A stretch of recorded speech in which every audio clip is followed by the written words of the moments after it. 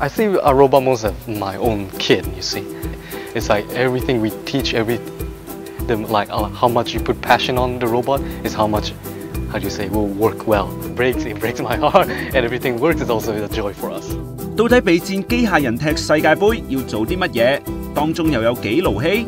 我哋去到 RoboCup 勁旅千葉工業大學嘅訓練場，聽隊長 Joshua 點樣講。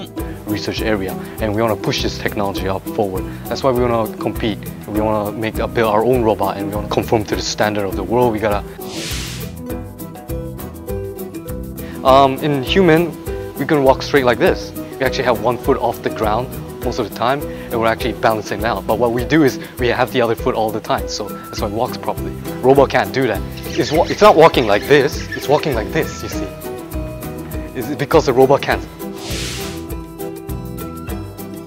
handles uh, handles one specific robots. Then the other few members we have uh, takes care of the overall maintenance, the mechanical maintenance, the electronic maintenance, and we also have a battery checker.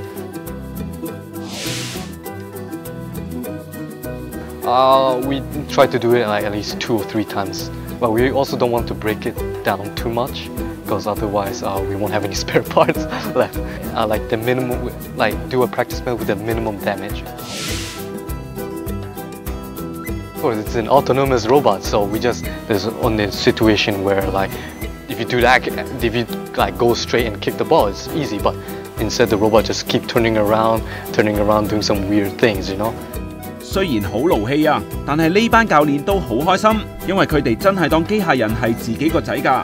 When the son, when the kid, you want the kids to do something, but you kind of have to tell them before time to see. You gotta take a step back and watch the kid grow and walk, and then afterwards you like um, tell the kids what you did wrong or what you did well and stuff like that. Same thing with robots.